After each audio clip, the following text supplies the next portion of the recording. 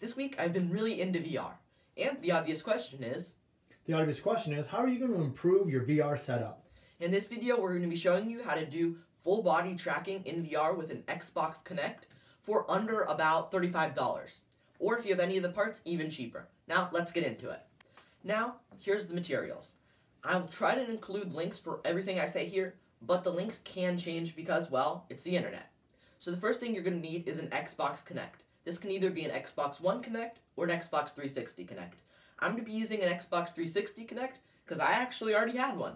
The next thing you're going to need is a um, adapter for that Xbox Kinect. So these can be about like five to ten dollars on Amazon, and they um, have three ways. One way that connects to the Kinect, one that goes to your computer, and one that goes to power. Speaking of computers, you're going to need a um, pretty decent computer to do this. Probably like a gaming computer. Um, I suppose you could do it with a laptop though. Then you're going to need a Steam VR compatible VR headset. So I'm going to be using an Oculus Quest, but you could use almost any headset as long as it can connect up to Steam VR. And I'd recommend using one that has inside-out tracking, so one that has cameras on the headset and not ones that have base stations, but it can work if you have base stations. Without further ado, let's get started in the tutorial. Alrighty, so the first thing that you need to download is, um, I'm sorry for the bad screen recording, but the first thing you need to download is Driver for VR. I'll provide a link. And you also need to download the um, Kinect for Windows Runtime 2.0 um, for, but you can always find this by looking up um, drivers for Xbox Kinect, and you either put in Xbox Kinect Xbox One or Xbox Kinect 360. Um, of course, I have the 360, so this is the 360 one. I'll try to include that in the description. Once you've got both of these things downloaded, you are going to go here, and Driver for VR should start running. All right, now when you get Drivers for VR, it should pop up and look like this.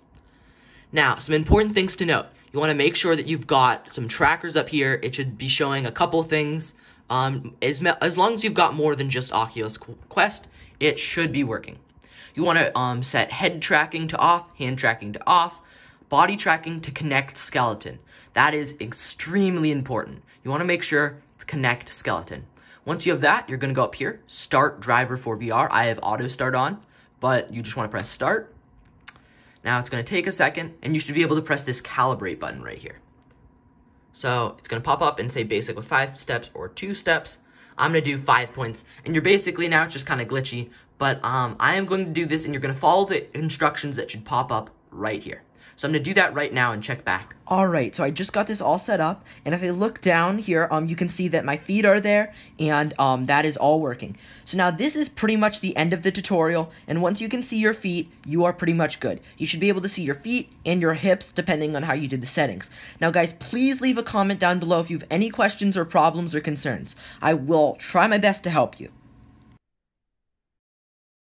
Alright, so now here's some mixed reality gameplay of me and Beat Saber.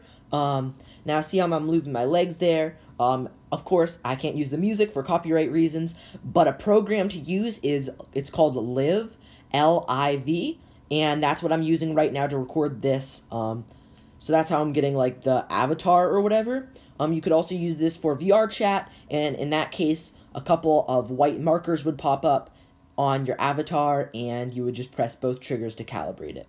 But other than that, just enjoy um, the little Beat Saber footage.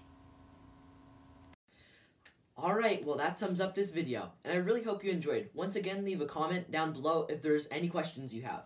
Also, before this video ends, I want to leave a quick note that there is kind of like a um, free-ish version of this software. It's called Kinect to VR. It's not made by the same people, I believe.